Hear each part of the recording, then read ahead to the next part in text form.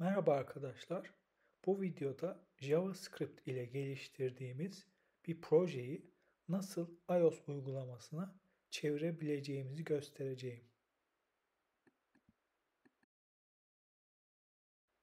Cordova'nın internet sitesine girelim.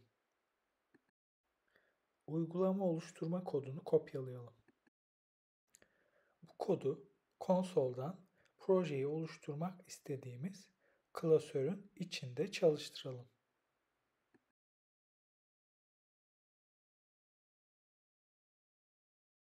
Konsoldan proje dosyamızın içine girelim.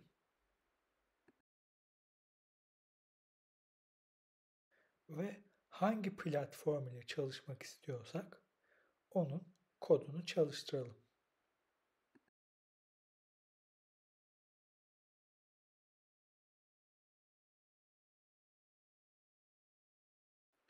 Projemiz oluştu. Şimdi Xcode ile projemizi açabiliriz.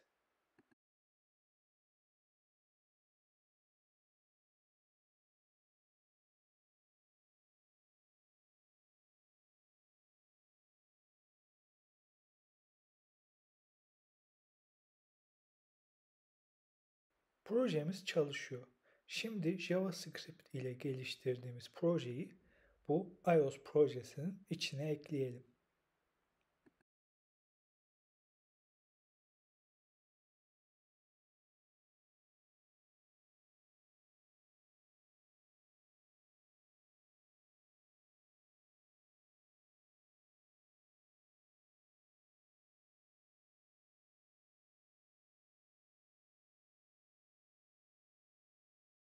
İlk çalıştırılacak dosyanın ismini index.html olarak değiştirelim.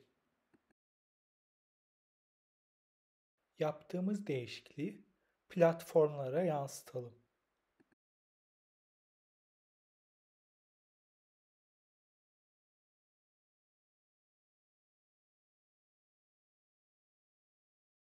JavaScript projemiz iOS simülasyonu üzerinde çalışıyor.